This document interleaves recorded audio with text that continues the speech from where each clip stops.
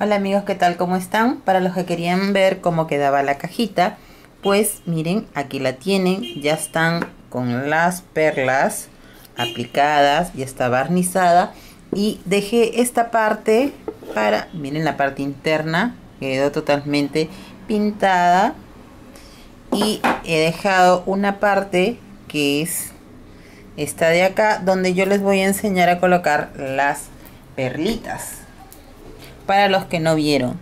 En este caso, para no complicarme, como es silicona, lo pueden aplicar de dos formas. Una, de esta manera, toda la línea como es transparente, donde va a colocar cada perlita o individualmente. Recuerden que la lista de materiales están en mi blog en tallernela.com. Miren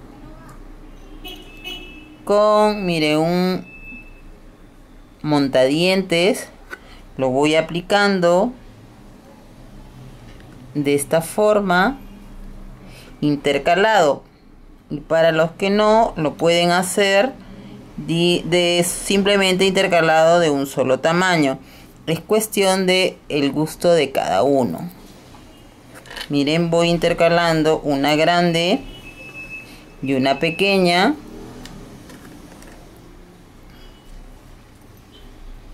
miren.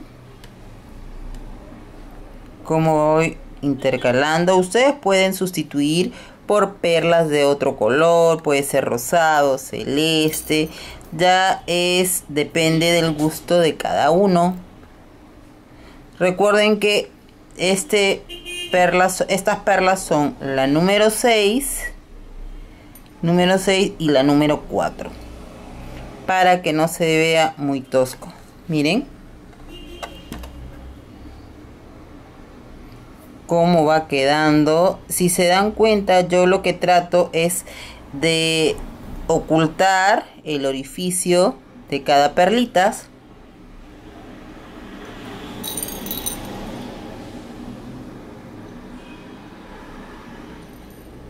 No se olviden de activar la campanita para que les avise cada vez que suba un vídeo. Un nuevo tutorial.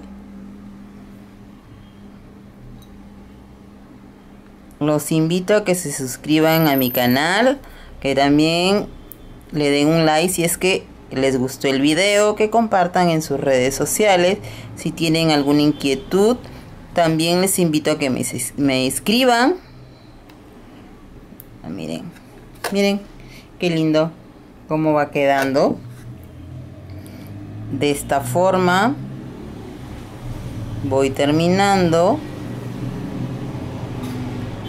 de colocar cada perlita.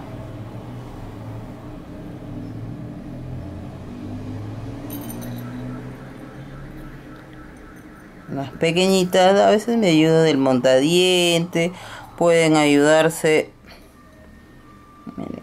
con un palo de brocheta con una aguja con pinzas también hay para colocar mostacillas y perlas también.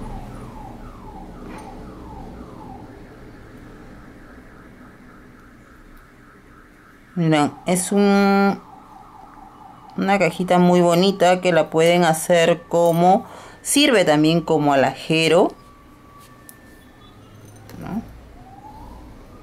miren siempre tratando de ocultar los orificios de las perlitas y colocándola intercalada. De esta forma voy finalizando. Y finalizo con una pequeñita. Ahora miren cómo quedó. Ahora si se dan cuenta también he colocado en la parte donde está mi blonda hilo y voy colocando ahí para colocar un poquito de una puntita de silicona pueden usar la caliente o la fría para colocar. Recuerden que esto tiene que haberse estado previamente ya barnizado, siempre tratando de ocultar, miren los orificios de las perlitas. Miren qué bonito queda. Pueden apreciar que están los cuatro lados. Pueden colocar la blonda hilo que ustedes desean.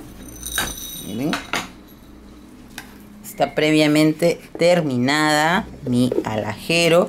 La pueden hacer en el tamaño que ustedes prefieran. Esta es una cajita cuadrada. En la, en la, primera que les mostré es una rectangular. Miren qué bonito que queda como para un regalo. Espero que les haya gustado este tutorial. Que compartan en sus redes sociales. Que me ayuden con un like. Que activen la campanita. Y hasta otro nuevo tutorial. En el cual vamos a enseñarles la técnica del veteado con un veteador que pasen un buen fin de semana.